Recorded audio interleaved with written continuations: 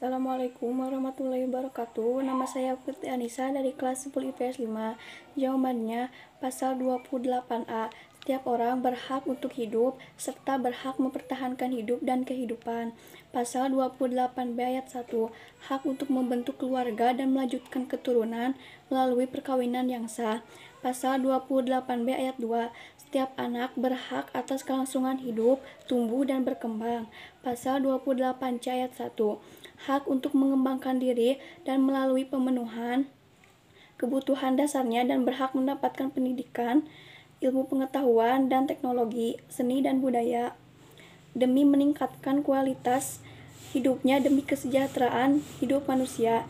Pasal 28 C ayat 2 hak untuk memajukan dirinya dalam memperjuangkan haknya secara kolektif untuk membangun masyarakat bangsa dan negaranya. Wassalamualaikum warahmatullahi wabarakatuh.